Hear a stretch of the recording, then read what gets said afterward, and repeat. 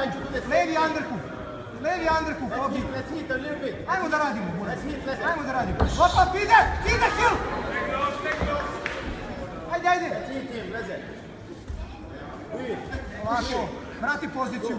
Vrati poziciju, napravi bazu. Onda da ubaciš levi. Let's Onda levi underhook, da U pola si runde. Na pola si runde, job. Ajmo da popravimo poziciju. Ajde, nemoj da te tu dominira. Opa! Imaš underhook. Ajmo, Ogi. Ajmo da radiš. Ajmo, opa! To je. Ajmo prolaz sa strane odmah. Odmah sa strane. Polako, napravi bazu. Napravi bazu.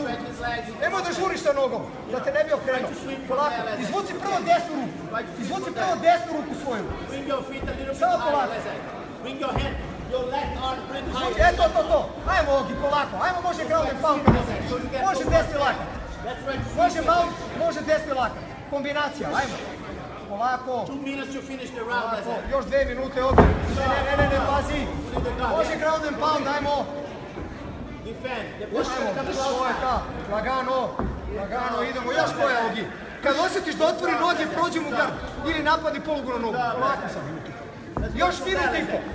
Nemoj da žuriš, nemoj da žuriš. Ajde, grao, to je ta polako, nadiši. Imaš dobru poziciju, nadiši i ground and pound. Probaj laka togi. To je ta, to je ta. Probaj laka, to teško diše ovdje.